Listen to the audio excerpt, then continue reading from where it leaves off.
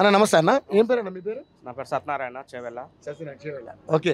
సత్యనారాయణ గారు తెలంగాణలో ఇప్పుడు MP elections హోరాహోరీగా పోటీ పడుతున్నటువంటి మనం చూస్తున్నాం అన్ని కూడా. సో అభ్యర్థులు అందరూ కూడా ఖరారు అయిపోయారు సో ఏంటి ఎలా ఉండబోతుంది? ముఖ్యంగా చూసుకుంటే మీ చేవేళ్ళ నియోజకవర్గంలో ఇక్కడ ఏంటి? ఏ పార్టీ అధికారంలోకి వచ్చే అవకాశం? అంటే చేవెళ్ళ నియోజకవర్గం చూస్తే ఎక్కువ కాంగ్రెస్ మొగ్గు చూపుతుంది. ప్రభుత్వం కూడా కాంగ్రెస్ వచ్చింది కాబట్టి కాంగ్రెస్కే ఎక్కువ ఛాన్స్ ఉన్నాయి గెల గెలిచే సీటు అవకాశం ఉంది. అందులో ఈ బీజేపీ ప్రభుత్వం ఏంటంటే కేంద్ర ప్రభుత్వం కదా. కేంద్ర ప్రభుత్వం నుంచి మన తెలంగాణకు ఏమి ఎక్కువ ఏమి ఫండ్స్ కూడా రాలేవు. అందులో అది ఏంటంటే కేంద్ర ప్రభుత్వం మొత్తము సంపన్న వర్గాలకు. సంపన్న వర్గాలకే పరిమితమై ఉంటుంది.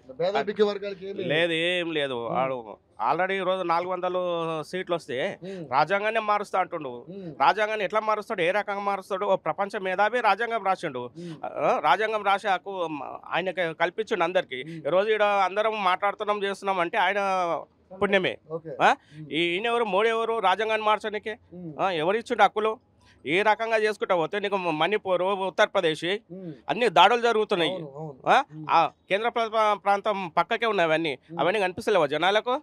ఎట్లా ఏ రకంగా ఇస్తాం మనం? కానీ మోడీ వచ్చాకే ఈ రోజు ప్రపంచ దేశాల్లో మన ఇండియా ఐదో స్థానంలో ఉందని చెప్పి చెప్పుకుంటా ఉన్నారు మోడీ వచ్చిన తర్వాత ఎవరైతే సంపన్నులు ఉన్నారో వాళ్ళు అందరు కేసులు మాపేయానికే ఉన్న ఎమ్మెల్యేలు అక్కడ పోతారు సంపదన ఈడు ఉన్నాయి కదా.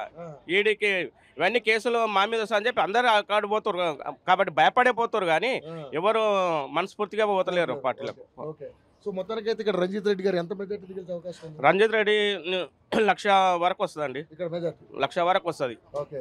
ఒకటి మన హైదరాబాద్ చుట్టూ చూస్తే ఒకటి ఓవైసీ గెలుచుకుంటాడు.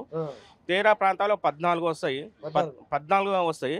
పోతే ఒకటి టీఆర్ఎస్ బీఆర్ఎస్ పార్టీకి ఒకటి పోతుంది.